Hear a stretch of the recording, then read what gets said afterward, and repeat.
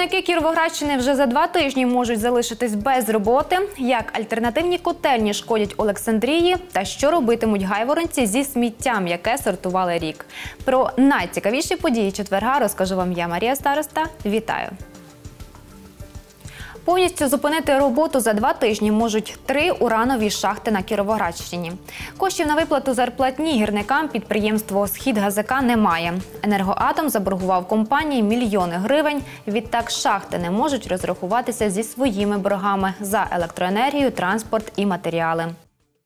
Ми їх планували їхати під НЕК «Енергоатом». Вчора зранку е, НАБУ провела обыски в «Енергоатом».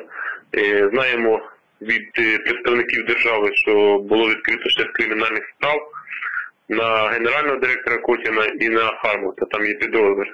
Хармут Німець, віце-президент НЕК «Енергоатом». Зараз генеральний директор знаходиться в міністерстві. Должен бути представник НЕК «Енергоатома» керів- або керівник виконуючий обов'язки Котін буде. Сьогодні чекаємо рішення.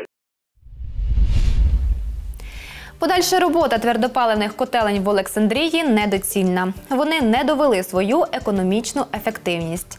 Натомість щодня несуть шкоду екології та здоров'ю людей. На такій позиції стоїть міський голова Сергій Кузьменко. Відтак ініціював провести аудит діяльності підприємств, на балансі яких перебувають котельні.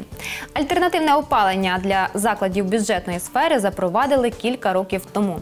Твердопаливні котельні опалювали п'ять найбільших закладів освіти, центральну лікарню, спортшколу та ще ряд комунальних об'єктів.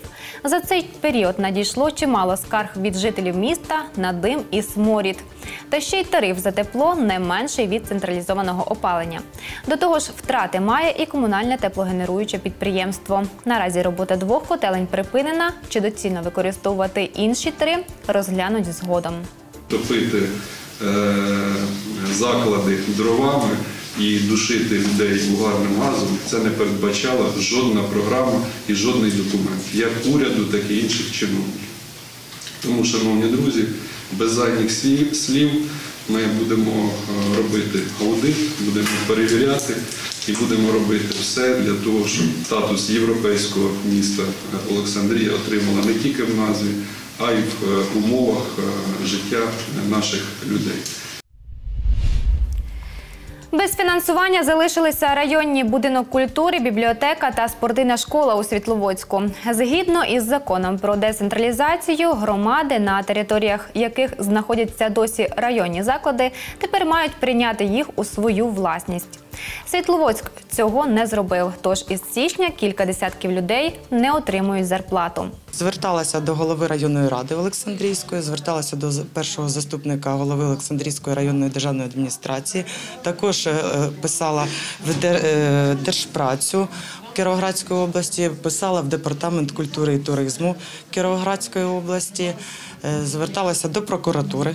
Зверталася, поки що всі розглядають тільки питання конкретних вирішень. Питання ще немає. Депутати питають, а у нас в бюджеті не закладені ці кошти, про які ви казали, і з якого ми будемо фінансувати, з якого напрямку.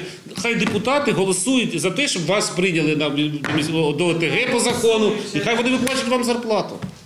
Наші журналісти слідкуватимуть за розвитком подій. Яка доля чекає на заклади та їх працівників? Дивіться вже у наступних випусках новин. 5 тонн відсортованого сміття за рік зібрали у Гайвороні. Для роздільного збору закупили спеціальні баки, збудували майданчики та придбали сміттєвоз. Наразі в місті встановили вже 184 контейнери. Кожен має свою наліпку з відповідним кольором, написом та зображенням. Яку вигоду від сортування має громада, Ірина Вернигора знає. Відсортоване сміття чотири рази на тиждень збирає спеціальний сміттєвоз. Після його звозять на територію підприємства Гайворонський комунальник. Працює в нас дві людини. Це є сортувальник побутових відходів, який е, безпосередньо е, сортує по кольорам пляшки, е, відбирає папір, який можливо на вторинну переробку, і людина, пресувальник побутових відходів, який на пресі сортує їх в тюки в відповідної е, об'єму. В одному тюку дві тисячі спресованих пластикових пляшок. Його вага 70 кілограмів. у нас сортується пляж, е, окремо пластик, е, папір та скло. На даний момент ми сортуємо пластик по кольорам, е, кожен колір окремо. Пластикові пляшки окремо сортуємо пластик від побутової хімії, окремо сортуємо картон. Сортування сміття не лише зменшує шкідливий вплив на екологію, його планують ще й продавати.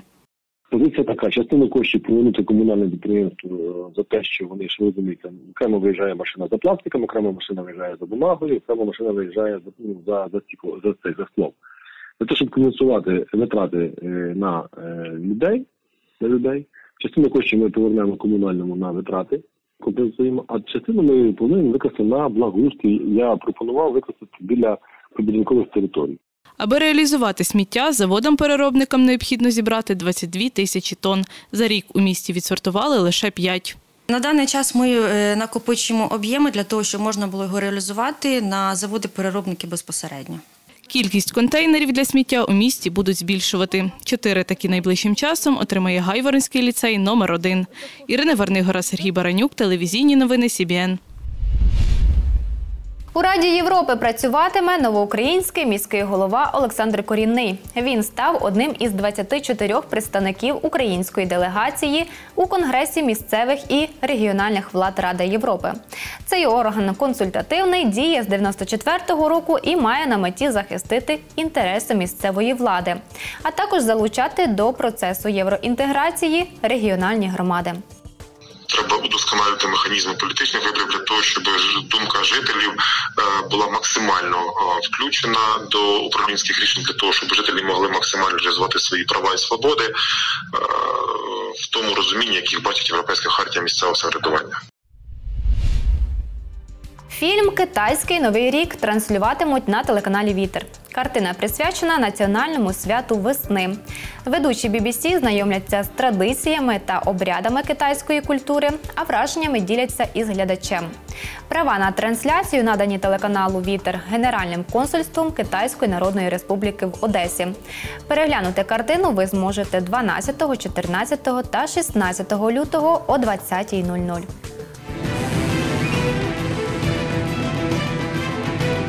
protected only by his grandfather's sheepskin and a straw hat. Покращити туристичні маршрути планують у Світловодську. Ідею голові облдержадміністрації Андрію Назаренку запропонував координатор Світловодської промоасоціації Микола Середенко.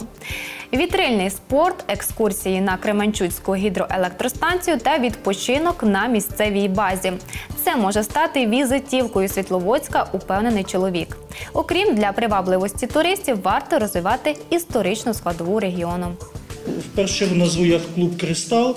Е, Це центр розвитку вітрильного спорту і е, місце, де проходять чемпіонати України з вітрильництва. Це база відпочинку хвиля, комплексний е, центр, де є можливість приймати велику кількість відпочивальників, в тому числі проводити концертно-мистецькі заходи і спортивні заходи регіонального масштабу. Це найпотужніший туристично-промисловий об'єкт на Кіровоградщині Кременчуцька гідроелектростанція, яка сьогодні вже готова е, з пом'якшенням карантинних е, обмежень здійснювати екскурсійне обслуговування е, учнівської молоді і всіх охочих з цієї країни. Дійсно, це потрібно робити. Так, щоб люди не їздили в Кременчуг, а приїжджали до вас, щоб з області розвивати місцевий туризм. Пандемія, яка зараз є в країні і, і в нас в області, показала, що дійсно е, місцевий туризм має місце. Да? Люди подорожують Україною, шукають нові міста, е, міста приводять. Привозять сюди тоді кошти. Зустрічайтеся з департаментом культури, відпрацьовуйте ці всі пропозиції. І давайте будемо думати, де потрібна е- допомога обласної влади в їх реалізації. Там, де зможемо, там будемо допомагати. Якщо маєте цікаві ідеї, не тримайте в собі. Поділіться ними, і, можливо, саме ваша пропозиція принесе користь громаді, у якій ви живете. А ще не забувайте слідкувати за погодою. Вона останнім часом дуже мінлива. Яких сюрпризів від неї чекати завтра Марія Тарасенко розкаже. А я вам бажаю приємного вечора.